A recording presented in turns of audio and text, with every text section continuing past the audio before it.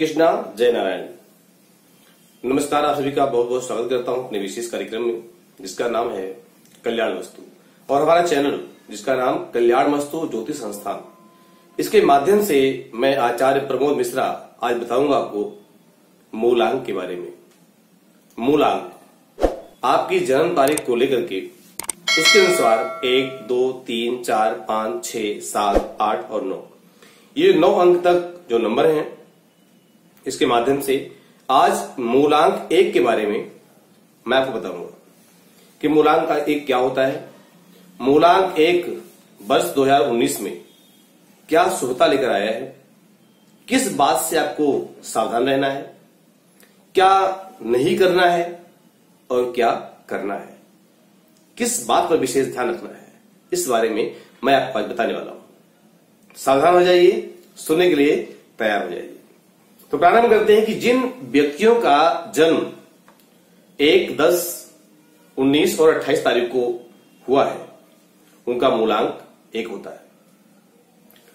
अब मूलांक एक के लिए ये दो हज़ार उन्नीस का जो वर्ष है, बहुत ही अच्छा है और ये लोग इस वर्ष में बहुत अच्छी सफलता प्राप्त करने वाले हैं, नौकरी, व्यवसाय के अवसर प्राप्त करने वाले हैं, शिक्षा में बड़ी बड़ी उपलब्धियाँ भी लाने वाले हैं।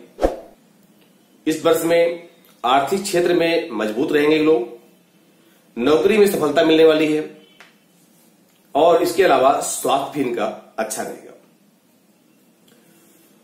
अब अगर ध्यान दिया जाए कि अगर पिछले कुछ सालों में कोई काम या कोई भी चीज़ें इनकी अटक रही थी, रुक रही थी, वो भी इस साल में हो जाएँगी।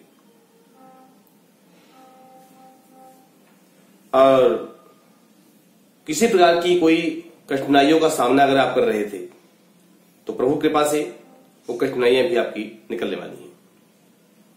हाँ संतान की तरफ़ से कोई विशेष अच्छा समाचार भी मिल सकता है आपको। पति पत्नी का जीवन अच्छा रहेगा, लेकिन कुछ गलत फहमियों को लेकर के आपस में कुछ कड़वाहट आ सकती है। इसमें सावधानी की ज़रूरत है, सामंजस्य की ज़रूरत है, समझदारी की ज़रूरत है। तो विशेष ध्यान देने वाली बात यह है कि इसमें अपने जीवन को स्थिर बनाने के लिए, जीवन को सुदृढ़ बनाने के लिए अपने लक्ष्य पर आपको ध्यान देना होगा। जितनी बातें मैंने बताई कि आप ऐसा करेंगे अच्छा जो लोग मशीनरी, कंप्यूटर या संपत्ति के संबंधित कुछ कार्य करने वाले हैं, लेखन, व्यापार के लिए काम करने वाले हैं, उनके लिए वर्ष अच्छा रहेगा। इस पूरे वर्ष में अप्रैल और मई का जो महीना है, वो विशेष सहायक आपके लिए होगा।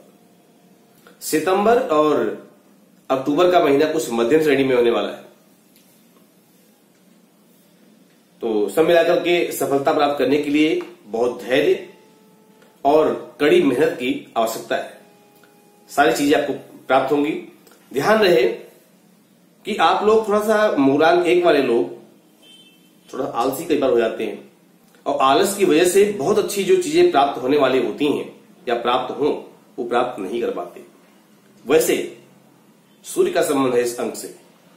इसलिए जीवन में बहुत अच्छा पद प्राप्त करते हैं, अच्छी प्रतिष्ठा प्राप्त करते हैं अच्छा मार्ग प्राप्त करते हैं।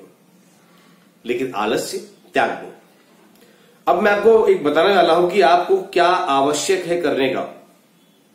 आप पूरे वर्ष, वैसे माता पिता का सम्मान हर व्यक्ति करना चाहिए, लेकिन पूरे वर्ष पिताजी को प्रणाम आप ज़रूर करें। किसी काम के लिए निकलते हैं तो पिताजी को, माताजी को प्रणाम करके, उनका आशीर्वाद अपने सिर पर लेकर के आप निकले, अपने कार्य में सफलता प्राप्त करेंगे। हाँ आचरण पर विशेष ध्यान रखना है। क्या नहीं करना है, इस बारे में बताने वाला अपने करेक्टर पर ध्यान रखते हुए, आचरण पर ध्यान रखते हुए कोई ऐसा कदम न बढ़ाएँ, जिससे आपके परिवार का, आपका अपमान हो विशेष सावधानी रखनी आपने।